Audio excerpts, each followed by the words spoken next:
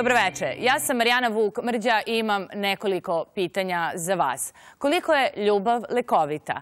Da li je možda osmeh tajni lek? Ima li istine u vinu i snage u hrani? Da li vidite osim u novcu i uspehu moć i u dobroj muzici, dobroj knjizi ili nečijem zagrljaju. Zar nije sve to dobro znati?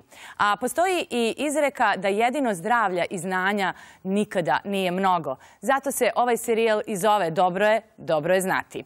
A mislim da u ovoj emisiji posebnoj, prazničnoj, ćemo saznati mnogo toga. Slušat ćemo dobru muziku, čitat ćemo ono što je dobro znati, a kako da sačuvamo zdravlje, to će nam kazati gosti koje ste imali prilike da upoznate u dosadašnjim emisijama, a večera su ponovo sa nama u studiju. Evo, prisjetite se. Dr. Nebojša Lalić, član Srpske akademije nauka i umetnosti i redovni profesor Medicinskog fakulteta Univerziteta u Beogradu, internista endokrinolog, dekan fakulteta i direktor klinike za endokrinologiju, diabetes i bolesti metabolizma Kliničkog centra Srbije. Dr. Đorđe Radak, također član Srpske akademije nauka i umetnosti i redovni profesor Medicinskog fakulteta Univerziteta u Beogradu, hirurg, direktor klinike za vaskularnu hirurgiju Instituta za kardiovaskularne bolesti Dedinje. Dr. Miroslav Granić, profesor Medicinskog fakulteta na katedri hirurgije, načelnik odeljenja onkološke hirurgije i direktor klinike za onkologiju Kliničko-bolničkog centra Bežanijska kosa. Dr. Radan Đodić, redovni profesor na katedri hirurgije, član Medicinske akademije, direktor Instituta za onkologiju Kliničkog centra Srbije. Inženjer Miodrag Zarić, predsjednik Svetske asocijacije za hiperbaričnu medicinu, osnivač specijalne bolnice za hiperbaričnu medicinu i inicijator subspecijalističkih studija iz ove oblasti na Medicinskom fakultetu. Pukovnik dr. Dragan Mikić, redovni profesor, infektolog, načelnik prvog odeljenja klinike za infektivne i tropske bolesti Vojno-medicinske akademije. Dr. Dragana Košević, specijalista interne medicine, kardiolog, zaposlena na odeljenju kardiohirurgije 2 Instituta za kardiovaskularne bolesti Dedinje. Dr. Aleksandar Crnobarić, lekar specijalista na odeljenju za opštu ortopediju i traumatologiju odraslih, zaposlen na Institutu za ortopedsko-hirurške bolesti Banjica. Dr. Tatjana Mraović, specijalista higijene i medicinske ekologije, subspecijalista ishrane, dijetolog. Ksenija Mirković, direktor i predavač u Centru za edukaciju Školica za muziku. Autor je muzike i teksta za brojne pozorišne inkluzivne predstave, projekta Alisa u zemlji čuda. Bavi se muzičkim radionicama koje je počela da priprema zajedno sa Republičkim udruženjem za pomoć osobama sa autizmom. Dr. Milutin Kozomara, specijalista urologije i načelnik petog odeljenja klinike za urologiju Kliničkog centra Srbije. Ja bih ovaj razgovor zapravo počela Schopenhauerovom rečenicom da zdravlje nije sve, ali da bez zdravlja je sve ništa. I onda je na neki način pitanje zapravo za sve. Da li se slažete sa tim i imate li vi neku vašu omiljenu izreku? Profesore Laliću, šta vi mislite? Ja se slažem s ovom Schopenhauerom izrekom, ali ja na neki način pomalo više volim drugu koju je Paste rekao, a to je da šansa za uspeh E, obično se češće otvara i favorizuje spremne duhove, dakle posvećene duhove da bi se nešto ostvarilo. Mislim da je to važno i kad se e, vodi računa o zdravlju i kad se na neki način zdravlje pruža. Gospodine Zariću, vi? Ja mislim da treba na vreme shvatiti značaj svega toga i na vreme se brinuti o zdravlju, jer kad čovjek shvati da mu je zdravlje najvažnije, onda već postare malo i kasno. Onda mora da ga, da ga juri, da se održava.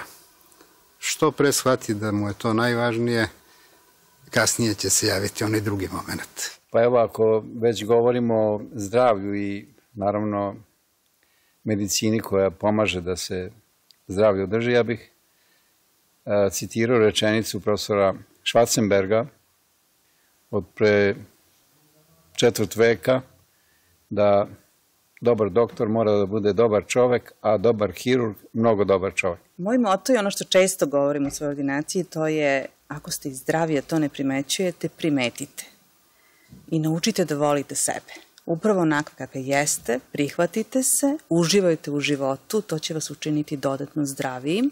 Budite sebi vrlo važni, budite sebi na prvom mestu, onda je lako i da vas drugi vole i da vi njih volite. Kad smo već kod uh, ljubavi, kažu da srce ima svoje razloge koje razum ne poznaje. Šta vi sa Instituta za kardiovaskularne bolesti Dedinje kažete u tom kontekstu? Imate li vi neku vašu profesionalnu omiljenu izreku? E, srce je velika nepoznanica.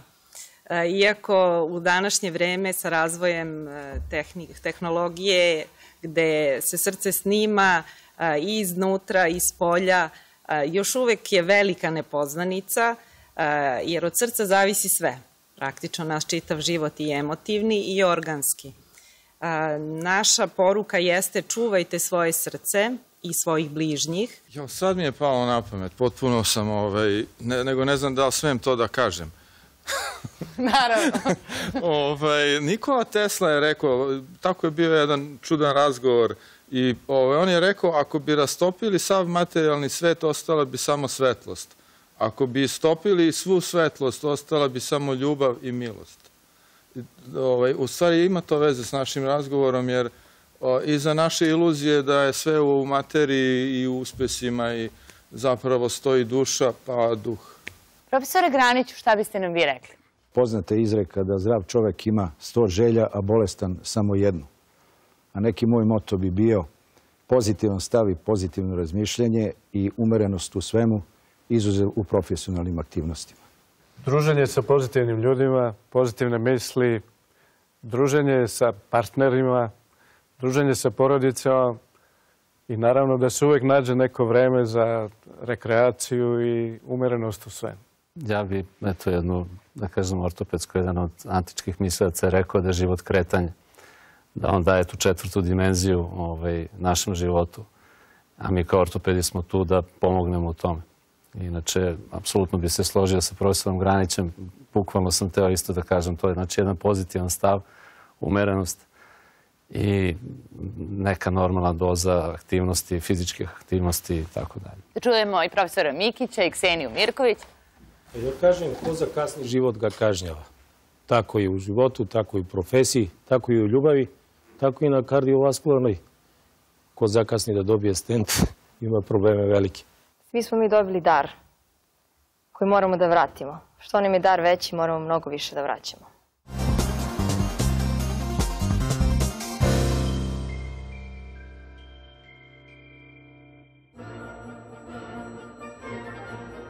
Davno je urađena studija koja dokazuje da jedno piće ne škodi zdravlju, dva prijaju, tri i više nanose štetu. Ipak, studija nije postala internacionalna jer je teško bilo odrediti meru jednog pića. Šalu na stranu, dokazan je pozitivan uticaj malih količina alkohola na zdravlje.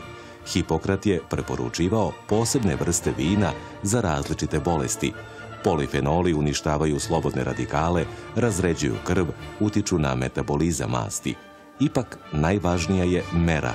Vino u malim količinama smanjuje rizik za nastanak kamena u žučnoj kesi, ali velike količine smetaju asorpciji kalcijuma. Ostaje pitanje da li je i zašto istina u vinu. Alkohol direktno utiče na centralni nervni sistem. Dugotrajno konzumiranje dovodi do trajnih oštećenja mala količina alkohola u redkim situacijama može biti korisna. Direktno utičući na vezu između leve i desne hemisfere mozga, alkohol daje srcu primat, smanjuje se sposobnost racionalizacije.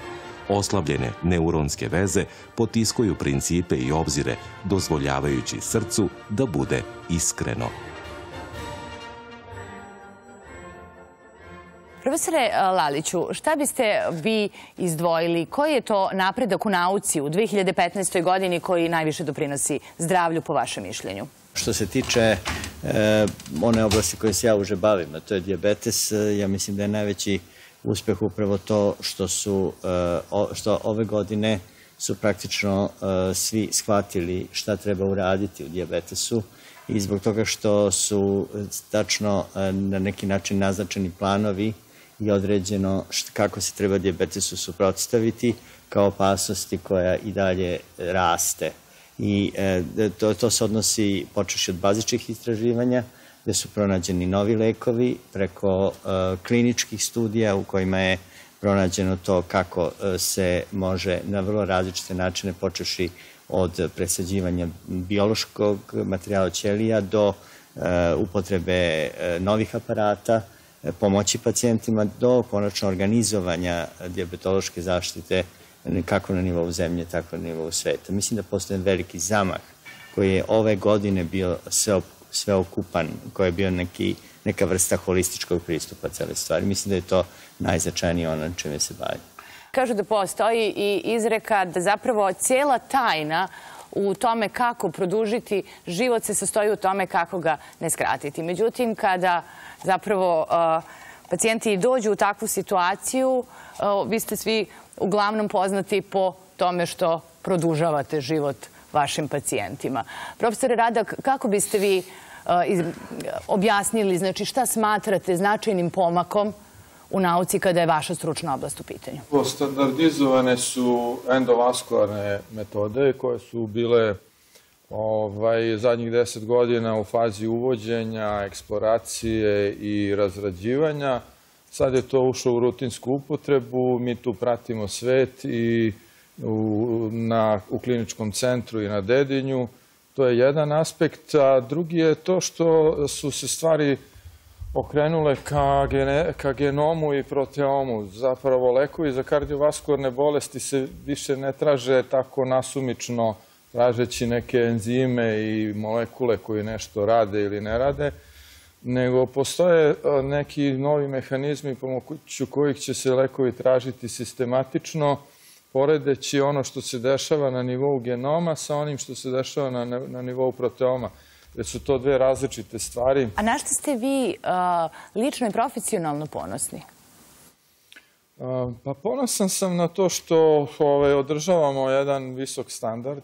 Bukvalno to tako kažem, jer u našim uslovima nije lako zadržati jedan dobar nivo i moći, recimo, recimo reći, da mi radimo sve ono što se sada u Evropi radi. Da imamo kompletan repertoar vaskularnih i endovaskularnih intervencija i da to radimo na jednom evropskom nivou sa evropskim rezultatima, pri čemu je naglasak na rezultatima. Mi jako često zaboravljamo da ne treba samo da brojimo koliko operacija ili procedura smo uradili, već i šta je bilo sa tim ljudima posle toga, pa smo onda ovaj, napravili bazu podataka za praćenje rezultata tih naših operacija. Profesore Đodiću, u kojoj meri je razvoj nauke i razvoj tehnologije u 2015. godini vama na neki način pomagao u tome da produžavate život svojim pacijentima? Što se onkologije tiče, tu postoji primarna prevencija, dakle mogo bi se izbegavanjem faktora rizika, pušenje, alkoholizam kao bolesti zavisnosti i gojaznost i zdrav način življenja, mogu bi da umanje 30% oboljelih od zloćudnih bolesti, hroničnih nezaraznih, među kojima je, je i zloćudna bolest. Drugo, sekundarna prevencija koju mi takođe uvodimo u Srbiji, to je screening, dakle, kod onih koji češće oboljevaju od raka dojke, to je populacija žene između 50. i 70. godine, rak grlića, materice i debelog creva, bi mogao ranije da se otkrije i da se smrtnost smanji. Ona da kažem, lečenje, tu su veliki napreci. Tehnološki, ja ću najprej govoriti o hirurgiji. Danas je, je moguće operisati na 3000 km i više sa robotskom hirurgijom, gde je potrebno da imate saradnika koji će da, da kažem, osvetljava robotu koji se zove Da Vinci, polje koje se operiša, a hirurg će da operiše za džojstikom. To je sad, da kažem, moderna hirurgija. Međutim, ono što je u onkologiji, posebno u hirurgiji solidnih malih tumora, najvažnije hirurg je faktor prognoze. I od kvaliteta operacije koja je indikovana naravno u prvim stadijumima zavisi i koji procenat ljudi će biti izlečen u jednom danu i kako će kvalitetno da živi. Ono što je za mene jako važno e, je, ja se fokusiram na Srbiju. Najpre prošle godine e, smo, evo tu je i naš dekan, dobili novi predmet koji se zove klinička onkologija, koji sad studenti medicine u Beogradu na šestoj godini slušaju i to je za mene jedan od najvećih uspeha. Pa e, odluka vlada i ministarstva zdravlja da se popravi situacija u radioterapiji, gde je praktično jedino postoje liste čekanja, to je za mene događaj veka, stoleća, jer već e, je otvoren centar za gamma nož, odnosno neuroonkologiju, e, nabavljene su tri akceleratora u e, Kamenici institutu za plućne bolesti u Vojvodini, kupljene su još četiri akceleratora, iz Svetske banke će se kupiti još šest. Dakle, mi imat ćemo duplo bolju situaciju u sledeće godine nego što je trenutno imamo i to je za mene zaista najvažnije. Profesore Graniću, na šta je kliničko-bolnički centar Bežanijska kosa ponosan? A svedoci smo ovih dana da se u našem kliničko-bolničkom centru sprovodi jedan novi vid lečenja koji se odnosi na vakcinu. Cimavax, kubanski lek, e, kod obolelih od karcinoma pluća sa određenim indikacijama. I to je praktično terapija koja postiče imunološki sistem organizma, koji u sadejstvu sa hemioterapijom može da produži život. Tako da je verovatno u tome i neka perspektiva lečenja onkologiji, znači da se postaknu imunološke snage organizma, tim pre što je pre par godina uveden jedan preparat, jedan lek u lečenje metastaza melanoma, e, koji predstavlja monoklonsko antitelo. Znači, opet se radi o imunološkom E, načinu lečenja udaljenih metastaza melanoma. Gojaznost je neizostavno faktor uh, rizika. Ono što je Hipokrat rekao davno, davno, davno, hrana jeste lek i trebalo bi da to danas apsolutno zapamtimo, da nam ona ne postane neprijatelj, da u okviru hrane ne nalazimo pojedinca od tih namirnica koje nam mogu štetiti ili favorizovati neke koje takođe nemaju mesta onoliko koliko se favorizuju da nam mogu doneti dobrog. Dakle, hrana je moćno oružje, samo je treba znati dozirati i primeniti kako treba. Ne treba se njome baviti onako van nekih specijalnosti lekarskih, ne treba znači slušati savete koji su mnogobrojni i često pogrešni. Što bi onako izdvojilo u okviru ove sreće što prosto hranu možemo da pomognemo? Nije u pitanju 2015, ali kad smo spominjali genome, definitivno sam srećna, što se u okviru nutrigenetike i nutrigenomike spominje vrlo važna stvar, a to je ako se ponašate u skladu sa vašom potrebom ili u prevodu poslušate dijetologa i hranite se onako kako treba, ako to ponavljate jedan duži vremenski period, u pitanju je par godina, imaćete tu sreću da vaš gen za vašeg života se popravi. Dakle, jednom gojazan ne znači i uvek gojazan. Ako ste smršali, tu svoju težinu održavate bar 3-4 godine u jednom dobrom nivou, onako kako treba i kako treba jesti, vi ćete praktično biti neko ko je već u svom životu premenio svoj gen, dobro zbog vas i dobro zbog vaše porodice. Dakle, ne treba odustajati. Gojaznost je jedan od samostalnih velikih rizika za dobijanje koronarne bolesti i vaskularnih bolesti, uopšte periferije. Tako da to je generalno problem ne samo u našoj zemlji, već globalno u svetu, jer je porast gojaznosti na godišnjem nivou preko 23%, posebno kod dece je pokazano da je mnogo veći na godišnjem nivou porast gojaznosti. Iz tog razloga upravo je i ishrana prevencija kardiovaskularnih bolesti kasni u, kasnijem dobi, u kasnijoj dobi, kao i pojave šećerne bolesti. Tako da bi prevencijom nastanka ovih problema rešili i veliki broj komplikacija koje ovaj, ovaj problem nosi. Nama se mnogo toga lepog desilo ove godine, ali to nije plod rada ove godine, to je plod rada 20 godina. Po čemu ćete pamtiti 2015. godinu? Juče sam dobio jedan podatak da je urađena 40.000 terapija na detetu od autizma, ne jednom, nego ukupno 40.000 terapija smo uradili. Postali smo svetski centar za autizam. To radite besplatno, je tako? Da, jedino je tako to. humano raditi, drugčije nema smisla raditi. A postali smo svetski centar, 22 zemlje su već orijentisane prema nama, to su od Amerike, Rusije, Švedske, Nemačke, Kuvajta, dolaze nam pacijenti. Iz svih tih zemalja rezultati postoje. Teško je doći do njih, ali postoje i to je ono što me najviše raduje u ovom trenutku. Ima neke stvari koje su malo manje važni. Dobili smo organizaciju Svetskog kongresa za 2017. godinu, što je velika stvar. Dobili smo svoju stalnu stolicu u Svetskoj organizaciji za hiperbaričnu medicinu, znači koja je za uvek između 20 stolica, sada je naša stolica tamo. Ja sam proglašen za predsjednika Svetske asocijacije, to neko lepo i čudno. Ove godine smo još naš rad koji je bio na Evropskom kongresu je proglašen za najbolji rad ove godine u Evropi. To je jako lepo.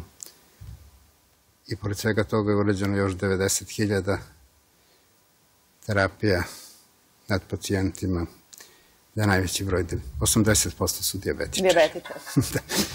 Pa sad, ako se toliko okrećemo oko šećerne bolesti, ja se osjećam ipak, e, e, osjećam tu dužnost da kažem da je 2015. godinu ovoj zemlji obeležila jedna vrlo značajna stvar, to je ponovno uvođenje savjetovališta za diabetes, gdje smo u to okviru jedne godine dobili e, oko 30 novih savjetovališta, upravo zahvaljujući jednoj odluci Ministarstva zdravlja koja je donesena sa Svetski dan e, diabetesa 2014. Terapija kiselnikom pod povišenim pritiskom svakako ima značajno mesto, ali tako i u terapiji i u prevenciji šećerne bolesti, a ima naravno svoje tekako važno mesto u terapiji infekcija. Ima veoma važno mesto u terapiji infekcija i mnogi oboleli od teških, najtežih bakterijskih infekcija, veoma često imaju šećernu bolest, pa tako da to bude sve povezano. Šta biste vi onda izdvojili? Znači, da li je bilo mnogo takvih pacijenata u 2015. godini? Koji biste napredak u nauci izdvojili koji najviše doprinosi zdravlju iz vaše oblasti? Što se tiče ovoga hiperbarične E, oksigenaciji njenog efekta kod bakterijskih infekcija izdvojili nekoliko bolesti, pre svega bolesti mekih tkiva, među njima svakako nekrotizujući fascitis, jedno od najsmrtonosnijih oboljenja u medicini uopšte, a infektivno oboljenje koje ne može da inače prođe bez operacije. S druge strane, lečeni su brojni uh, osteomijalitisi, uh, spondilodiscitisi, primjenom hiperbarične oksigenacije i veoma pozitivni efekti su postignuti. Naravno, tu se primenjuju antibiotici. Kad već pominjemo ovu antimikrobnu terapiju, svakako da su najveće dostignuće u ovoj godini rezultati troje naučnika koji su dobili Nobelovu nagradu ove godine za svoja otkrića, jer su doveli do radikalne revolucionalne promene u lečenju tri bolesti rečnog slepila, limfatične filerijaze i malarije. Pa eto, ne znam šta bi posebno izdvojio ovaj, u oblasti ortopedije. Svakako ovaj, razvoj novih materijala koji se ovaj, upotrebljavaju u našoj grani i koji se po svojoj savršenosti približavaju nekim, da kažem, prirodnim ovaj, materijalima. A, takođe, a, otkrivanje, odnosno prepoznanje mehanizama bioregulacije kod, u regenerativnoj medicini, pre svega kod uzgoja hrskavice, koja je veliki problem, mislim, čije oštećenje je veliki problem. Neko zadovoljstvo i uspeh u protekloj godini je što sam neke stvari po prvi put uradio u svom životu, mislim, i primenio u svojoj operativnoj tehnici, naročito kad je u pitanju artroskopija kuka, refiksacija labruma i tako dalje i mnoge druge, e, usavršavanje mnogih drugih stvari koje sam i do sada već primenjivao. Dosta se napredovalo u lečenju steriliteta i impotencije a na našoj klinici je uvedeno dosta novih operacija koje postaju rutina. Uvedena je laparoskopska operacija karcinoma prostate, perkutano razbijanje kamena u bubregu bez reza, rutinske se rade operacije inkontinencije, odnosno nevoljnog gubljenja mokraće sa tračicama i mrežicama i rutinske se rade operacije e, suženja mokrične cevi kod muškaraca, sa služokožom bukalne mukoze. E, Moram da napomenem da većinu tih operacija su uveli kolege srednje generacije uz našu pomoć. A najvažnija stvar... Mlađe kolege. Mlađe i srednje. A najvažnija stvar koja se desila na našoj klinici, moram da kažem, je renoviranje urološke klinike. Tako da mi sada radimo u mnogo humanijim uslovima i pacijenti se leče u mnogo humanijim uslovima.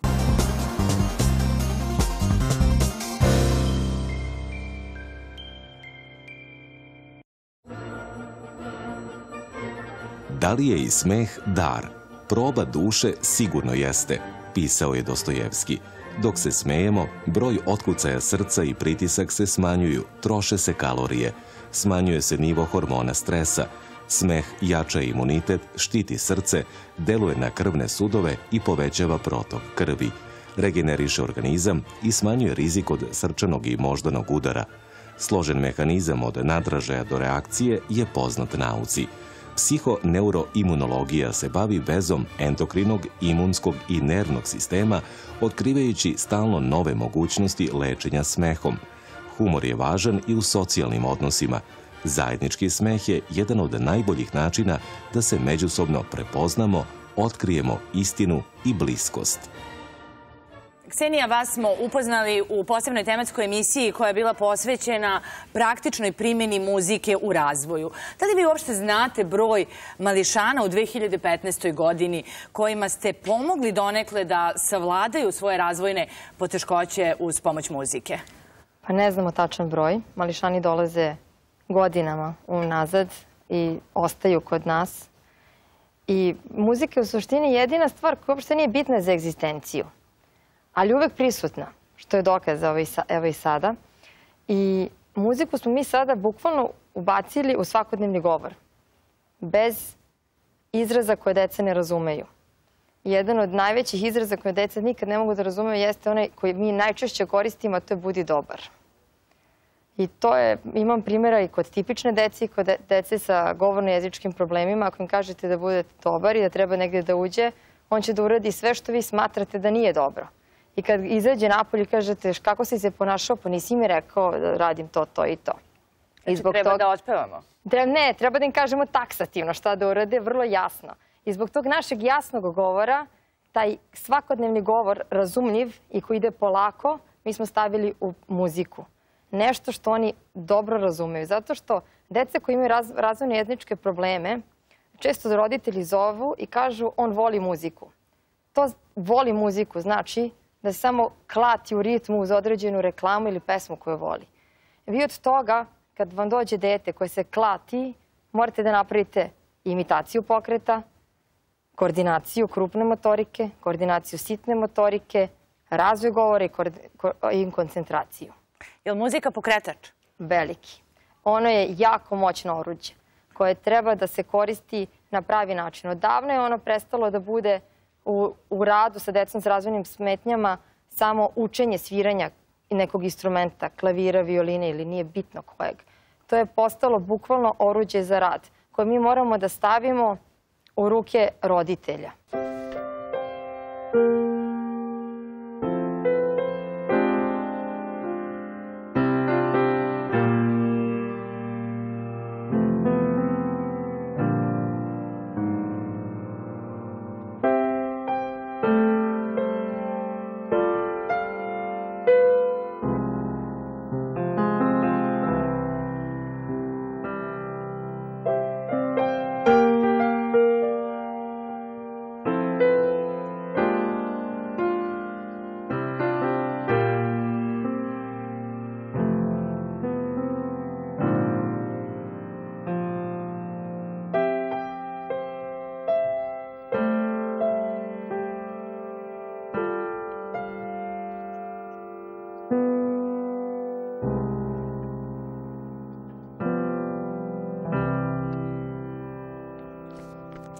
Po Hipokratu razjasniti prošlost, shvatiti sadašnjost i predvidjeti budućnost je zapravo zadatak lekara. Pa kako biste vi predvidjeli 2016. godinu i koje su neke vaše poruke gledaocima? Došli smo do neke tačke gde veoma ozbiljna hirurgija može imati poljuran ugled zbog infekcije operativnog mesta i zbog onog što se sa tim događa. S tim u vezi moji neki planovi, moji neki, moje neke ideje da nam se u narednoj godini snabdevenost popravi, pogotovo onim antibioticima koje nema i da se kod nas pojavi i registruje po neki od antibiotika koji su se u svetu već pojavili i aktivno su u upotrebi. Svi se nekad zapitamo šta je to što smemo, a šta ne smemo, a vi odgovor znate. Šta smemo u 2016. Sir Isaac Newton je u 17. veku pisao Robertu Hooku i napisao je ako sam i video više od drugih, to je zato što sam stajao na leđima džina. Džin je u ovom slučaju sistematična upotreba nauke i tehnologije i njen razvoj u smislu korišćenja tih informacija za dobrobit našeg zdravlja. Ja lično mislim da će 2016. godina doneti veliki broj minimalno invazivnih procedura u kardiohirurgiji i kardiologiji i upotreba nove vrste stentova koje je u prethodnoj godini započela. Mislim da će krenuti sa masovnijom upotrebom bioresorptivnih stentova u kardiologiji, u invazivnoj kardiologiji, kao i veliki broj procedura ugradnje mehaničkih valvula putem arterija i venskog sistema, znači transkateterska upotreba nove te tehnologije. Mislim da smo malo zaboravili lekare, nove, nove mlade lekare. Fascinantno je kako se svake godine pojavljuje ovaj, desetina talentovanih, lepih, mladih, dobrih, ambicioznih ljudi koji u ovoj zemlji ne mogu da pronađu svoje mesto. I to je možda nešto što smo dužni da pomenemo večeras. Mene bole neki promaše i neki ljudi koji su bili talentovani i otišli su.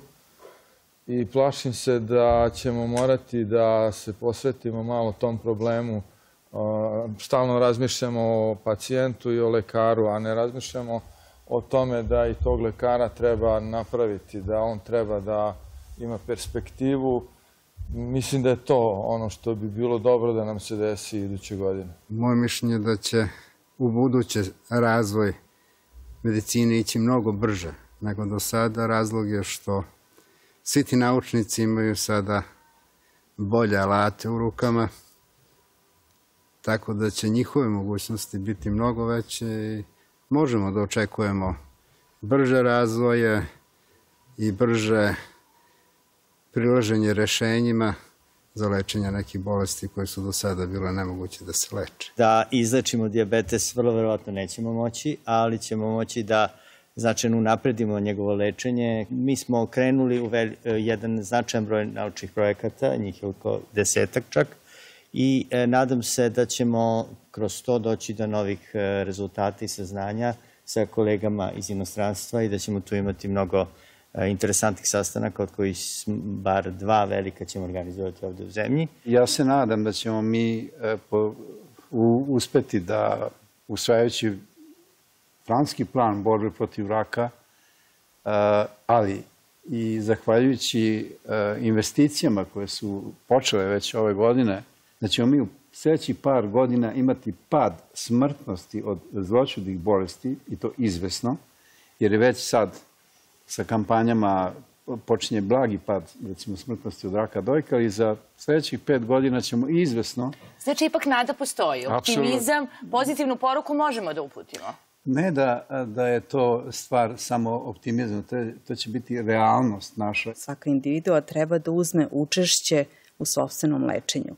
I moj veliki zadatak u 2016. godini, ja ću se svojski boriti, bit će taj da zapravo edukacijom o prevenciji i onome šta treba jesti i kako jesti, da ostanete zdravi i postanete zdravi, zapravo pomognem svakom pojedincu. Tako što ću ga naučiti da mora da uzme ulogu u svom životu kada je njegovo zdravlje u pitanju. I to je suštinski veliki zadatak. Znači, treba mnogo toga što je pogrešna predstava kada je ishrana i hranjanje u pitanju, negde vratiti na iskonski potpuno jasnu stvar – jedemo malo, jedemo često, jedemo ono što treba našem telu.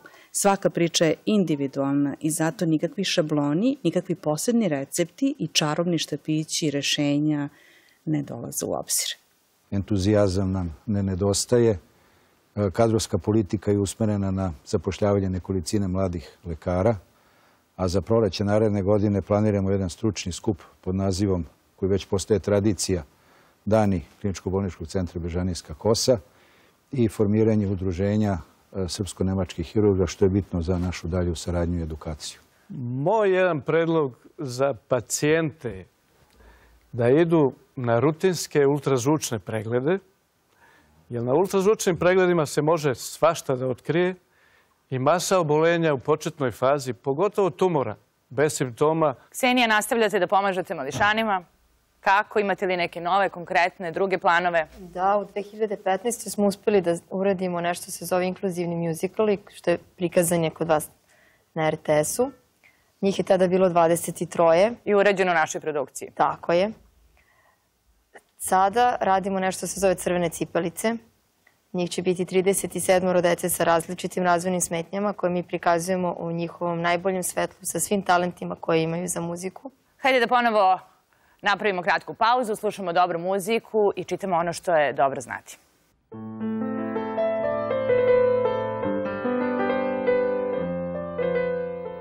Sve je veći broj bolnica u svetu koje uvode slušanje klasične muzike kao vid sekundarne terapije. U jednoj italijanskoj urološkoj klinici u svim bolničkim sobama sluša se Mozart. Direktan utjecaj muzike na nervni sistem je davno naučno dokazan. Određena vrsta muzike aktivira konkretne centre u mozgu. Postajemo smireni, veseli ili razdražljivi i agresivni. Iza toga stoji složen mehanizam koji deluje na celokupan organizam.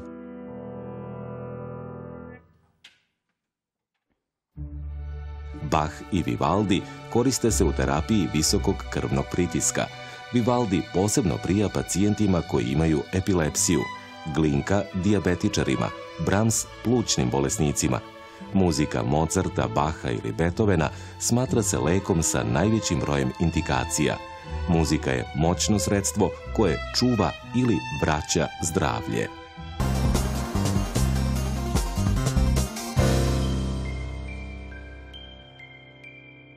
Privodit emisiju e, kraju. Koja bi vaša poruka bila i zapravo savet i želje za gledalce? Manje brige, više radosti. Manje vremena ispred TV ekrana, više vremena posvetiti različitim fizičkim aktivnostima, eliminacija stresa, korekcija ishrane, o čemu je bilo reči, i eliminacija pojedinih faktora rizika, čime se bitno smanjuje rizik za nastanak podmukle i opake bolesti. Najuže profesionalno, ako nemate šećernu bolest, proverite svoj rizik. Ako imate šećernu bolest, lečite se intenzivno i sarađujte se nama. A pošto je ovo novogodišnja atmosfera, onda mislim da treba da kažem uradite nešto zbog čega ćete biti zadovoljni da biste bili zdravi. Čuvajte svoje srce, volite sebe pre svega i svoju okolinu, svoje prijatelje i bit će vam lepše, sigurno. Tako ćete sačuvati svoje srce. Da bi čovek e, mogao da se dobro osjeća, potrebno je da ima nešto u budućnosti što ga vuče. I mislim da tu treba nekako da se okrenemo ka tome što će biti, što bi mogli da uradimo Mislim da smo se dosta potrošili sa problemima iz prošlosti, da treba da se okrenemo budućnosti i da u njoj pronađemo ono što volimo i da se tome približavamo. Ja vam svima lično i profesionalno želim svako dobro. A vama, poštovani gledalci, u ime ekipe koja godinama režira, snima, montira, realizuje ovu emisiju, želim dobro zdravlje, mnogo sreće i, kao što rekoh na početku, mnogo znanja. A uz to svakako onda ide i ljubav, dobra knjiga, osmeh i naravno dobra muzika koju ponovo slušamo za kraj.